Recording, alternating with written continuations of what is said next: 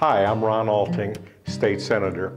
I'm here to share with you the painting that I chose by Robert Grafton that was purchased by the museum in 1917 called The Oyster Shuckers. This is one of my favorites for many reasons. Number one, obviously art is something that you express yourself as an artist and there's a lot of expressions in this with the multicolors that the artist picked out and particularly how the, the oysters in this scene are kind of dumped off the table and he kind of raised the painting there so you could get a real sense that the, the oyster shells themselves were just sitting right there in front of you.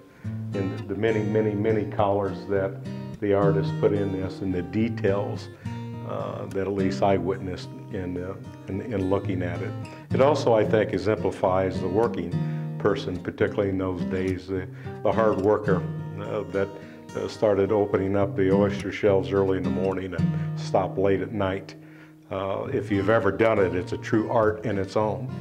Um, and then thirdly is probably my roots in New Orleans, uh, having uh, lived in New Orleans for 15 years and opened and operated a restaurant. Uh, we had oysters on the half shell, but uh, a, a lot of emotions, a lot of great memories, a lot of great stories that I have in my heart and mind. My children both were born in New Orleans. Uh, brings back a lot of memories of the great city of New Orleans. So I was very proud and happy when I first seen this uh, to pick this one as my number one painting.